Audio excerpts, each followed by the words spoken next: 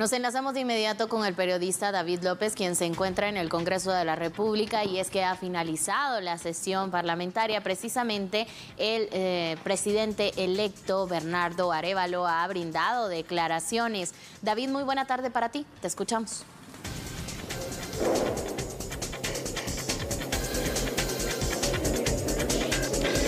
Muy buenas tardes, Ana Lucía. Es un gusto saludarles desde el palco de prensa acá en el Congreso de la República y en efecto durante la sesión ordinaria que se llevó a cabo este miércoles acá en el organismo legislativo, el presidente electo, quien es eh, diputado también por la bancada del eh, partido Movimiento Semilla, dio declaraciones a la prensa. Dentro de los temas que se refirió el eh, presidente electo se encuentran el proceso de transición, también la solicitud de antejuicio a magistrados del tribunal Supremo Electoral y otro de los temas que consideró importante abordar con los medios de comunicación es el tema del presupuesto que fue presentado recientemente por representantes del el equipo de transiciones de gobierno ante la Comisión de Finanzas para el presupuesto de gobierno que llevará a cabo el partido político Movimiento Semilla durante el 2024. Escuchemos eh, qué fue lo que dijo Bernardo Arevalo, presidente electo.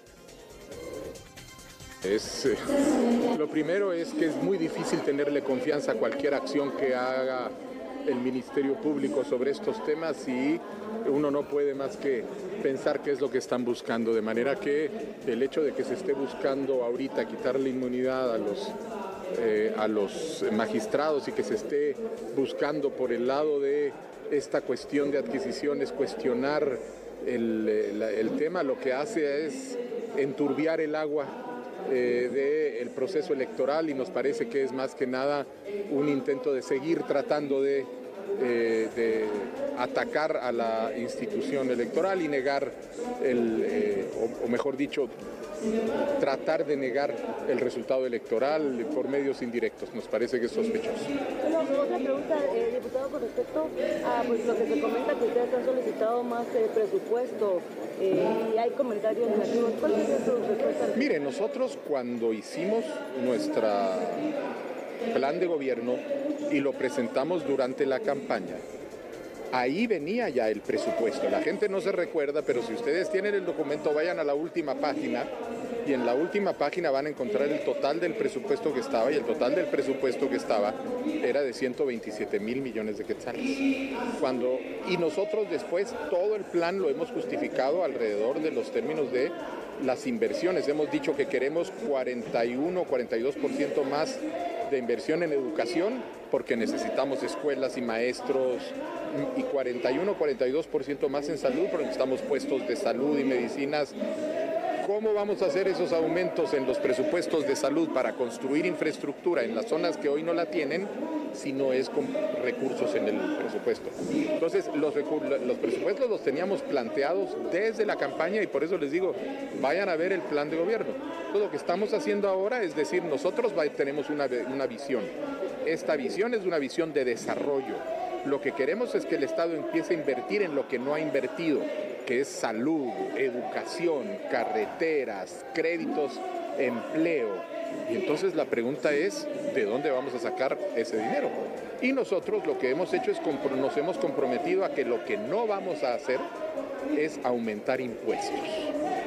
Ni vamos a elevar las tasas, ni vamos a aumentar el número de impuestos. Pero el Estado necesita dinero para poder invertir en lo que no se ha hecho hasta ahora. Porque si queremos más hospitales, ¿de dónde vamos a construir hospitales si no tenemos más dinero en el presupuesto? ¿Cómo vamos a construir carreteras si no tenemos carreteras, eh, dinero en el presupuesto?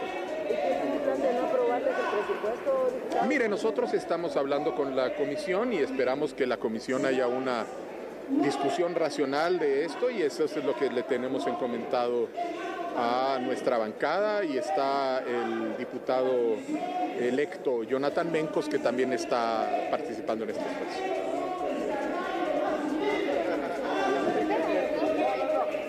Bien, muy bien. Una reunión donde hicimos por un lado un análisis del proceso actual, todo el tema de transición, cómo estamos ahora, eh, y por el otro lado empezamos a hablar de los retos que va a haber para precisamente trabajar para el desarrollo y de la forma como nosotros esperamos contar con el apoyo de la Unión Europea en cooperación técnica, en cooperación financiera, con todo tipo de, mecanismos para que complementen los planes que nosotros vamos a llevar a cabo para desarrollar al país.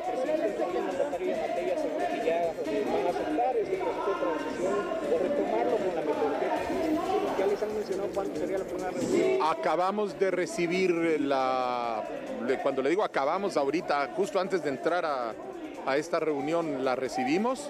Eh, ya estuvimos viéndola, sí, vamos a enviar la información que le está pidiendo y esperamos más o menos a la brevedad poder ya comenzar este proceso que es de intercambio de información a nivel de grupos técnicos.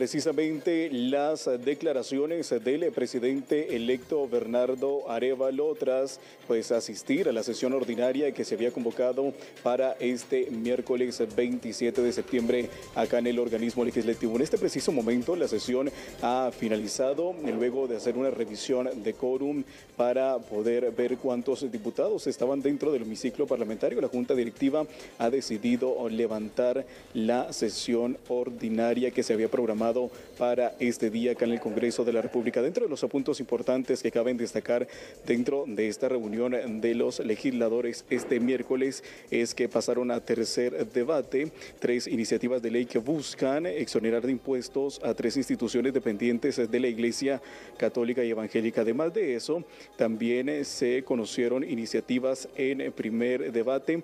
Una de estas pasó a la Corte de Constitucionalidad para su revisión, esto por parte de una moción privilegiada que fue presentada ante este organismo. Se trata de la ley del fortalecimiento para la paz, la cual pues eh, deberá ser trasladada a la Corte de Constitucionalidad para posteriormente analizar si pasa o no en el organismo legislativo. Son los detalles de lo que transcurrió este día acá en el Congreso de la República. Para mañana a las 10 de la mañana se tiene programada una nueva sesión ordinaria en donde se llevarán a cabo diferentes intervenciones interpelaciones a funcionarios de gobierno. Es la información que tenemos eh, que compartir eh, con ustedes, eh, compañeros en estudio, apreciables televidentes, a esta hora de la tarde desde el organismo legislativo con imágenes de mi compañero Víctor Laines. Retorno con ustedes hasta los estudios principales.